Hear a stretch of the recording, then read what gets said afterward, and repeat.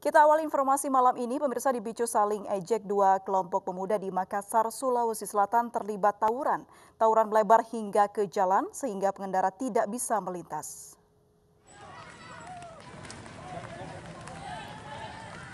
Saling serang dengan batu dan anak panah terjadi saat tawuran antar dua kelompok pemuda di Jalan Urip Sumoharjo, Makassar, Sulawesi Selatan.